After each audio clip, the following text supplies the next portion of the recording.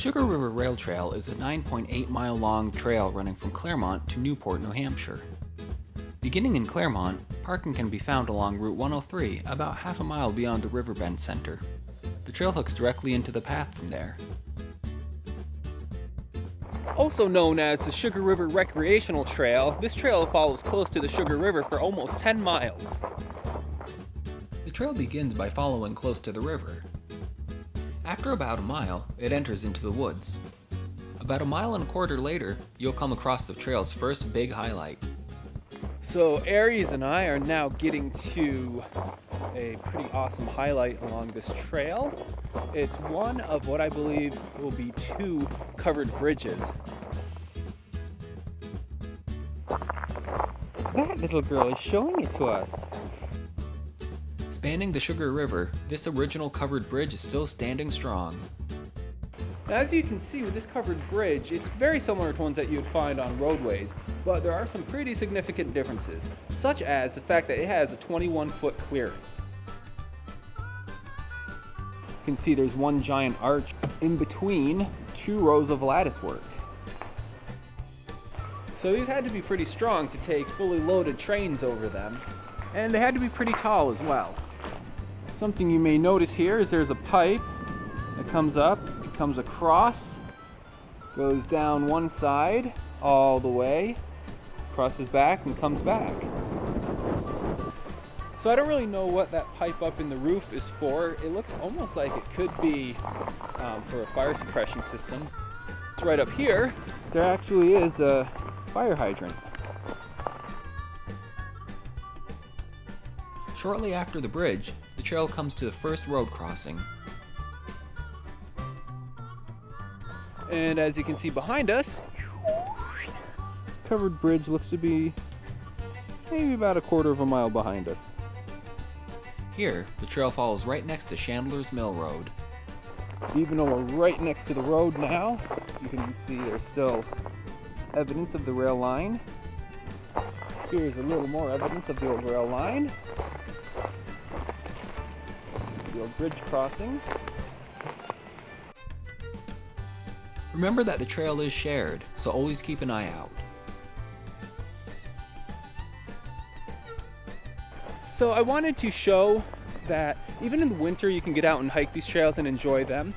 Right now it's pretty nice and packed down. You can see that the snowmobilers who go by, such as those couple that we saw earlier, um, they make the trail a nice firm surface so you can walk. You could snowshoe if you want. But I also wanted to show, just highlight the beauty of winter around here. Ooh, here we come up on the next covered bridge. This is actually a lot closer to the first covered bridge that we came across than I thought it would be. A little over a mile from the first covered bridge, you'll arrive at the second one. There is a single pull-off along the road, though it's hard to spot in the winter. But this bridge here, it's, it's quite similar to the other one, but I would say it's probably twice as long.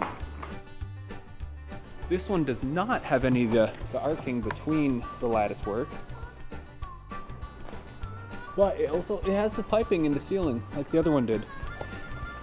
So I noticed down below there is a sprinkler, which means that this is a sprinkler system. All those pipes up above and it turns out they're down below also.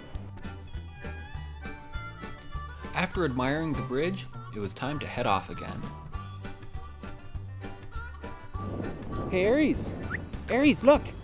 There's a sign here that we just passed. Five mile. Which means we are halfway done with this trail. After passing the halfway mark, we walked by a field, rounded a few bends, and soon saw Route 103 again where the next parking area is found. So Aries and I just passed by another parking area. Uh, it didn't appear to be on a named road, but just keep an eye out for the log yard sign and you'll be all set. After the parking area, the trail continues to wind along the Sugar River about one and three quarters miles before it hits the next bridge. So up ahead there is another bridge, one of the larger ones, and it is a wrought iron bridge. And there is another bridge up ahead. can you see it is yet another style. And I can actually see two more bridges right here. There's one right there, and then another wrought iron bridge way up there. I read online that this trail actually has about a dozen bridges in all, which that's kind of a big number, seeming that the trail itself is not quite 10 miles long, so you're looking at more than one per mile.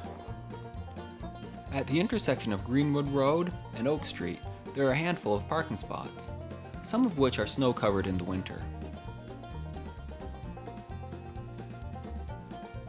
Alright, and Aries and I are now getting to this next bridge, and down below here, it looks like an old canal. It is an old canal. After the bridges, the trail leads back into the woods for two miles before arriving lower down on Oak Street.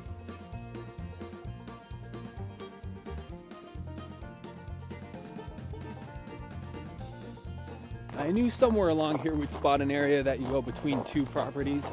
Proper trail etiquette. Be courteous of private property owners on either side of the trail.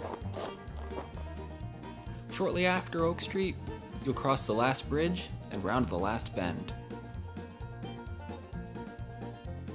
Yeah, what are you looking at? I don't know about you, but to me it looks like the end of the trail up there. And indeed, it was the Newport Trailhead.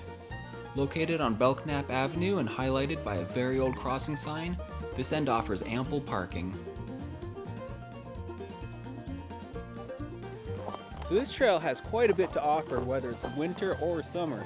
Winter, you've got snowmobiling, cross-country skiing, snowshoeing, hiking, dog sledding.